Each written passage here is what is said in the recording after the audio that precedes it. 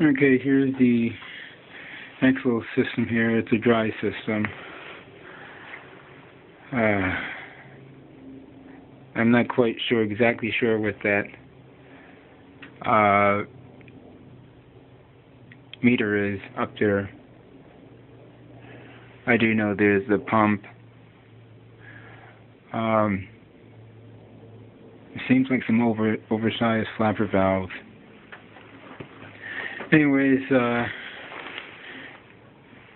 a warning label about if the valve's open, the fire department will come. There's nothing behind this sign except for the check valve. Um, it's closed. It's got so much stuff in here.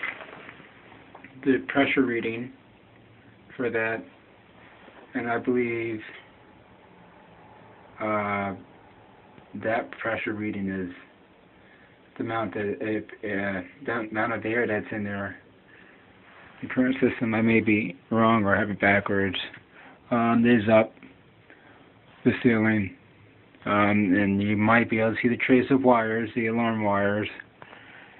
Uh, if I do go up there, it's it's it's a mess basically. Uh,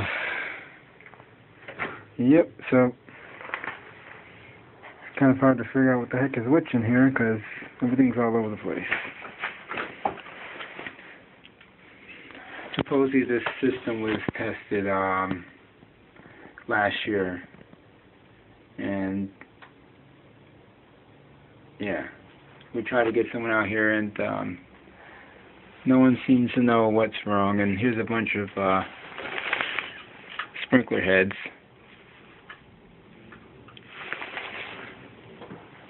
And that is it right now. Until we get some other stuff. Um, AC lines are installed after the uh, AC system is installed. So I'm pretty sure there's no duct sensors in here.